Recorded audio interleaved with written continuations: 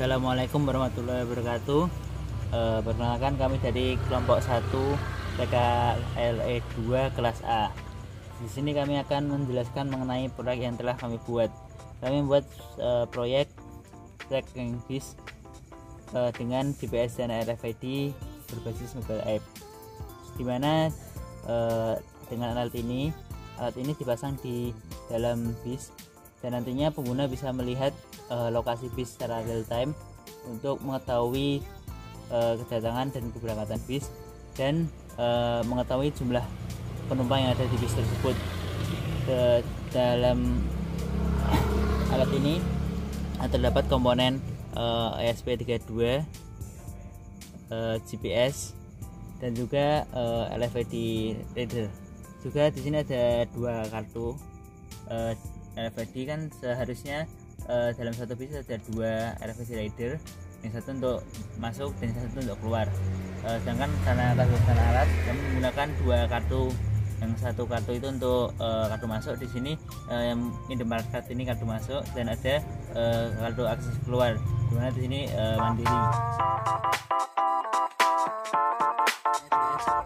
dari database uh, yang telah database dari alat kami. Kami menggunakan uh, database Firebase Google di mana di sini biasanya kita bisa menggunakannya secara uh, gratis dan dia open source.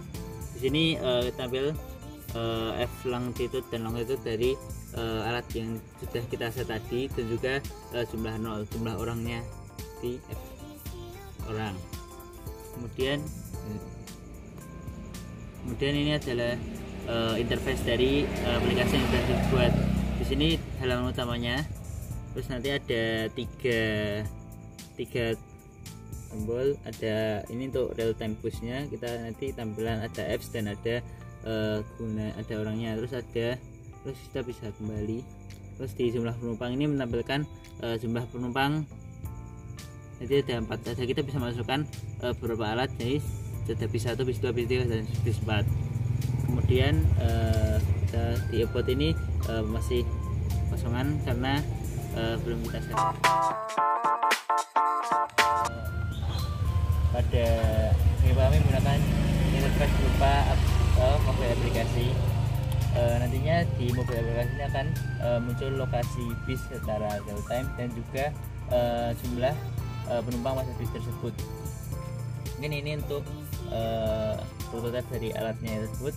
Uh, ini kami masih apa ya, di luar dikarenakan kalau di dalam uh, ruangan itu nantinya uh, GPS-nya nggak dapat dapat ini pun masih di luar dan uh, dapat tidak jalannya lemah. Mungkin untuk simulasinya ini ada dua kartu uh, ini karena kan seharusnya ada dua RFID di pintu masuk dan pintu keluar. Namun karena kita punya hanya satu RFID maka kita pakai dua kartu. Satu kartu untuk keluar dan satu kartu satu kartu untuk uh, masuk. Mungkin untuk di simulasinya eh kita simulasikan alatnya kita kita tap.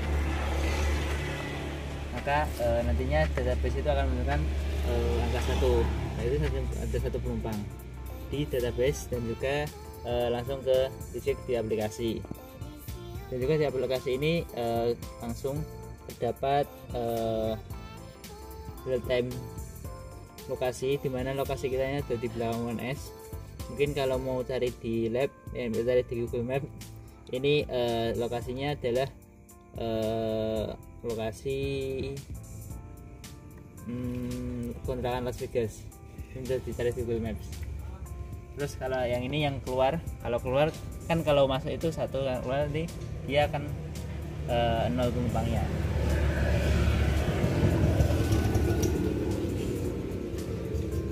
nah itu penumpangnya nol. Bisa tampil dan di aplikasi juga uh, penumpangnya nol. Mungkin seperti itu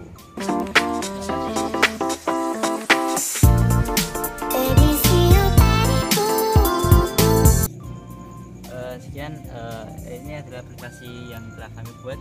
Diharapkan uh, proyek ini nantinya bisa membuat uh, penumpang bis semakin lebih nyaman dan moda transportasi bis ini bisa digunakan uh, lebih banyak lagi.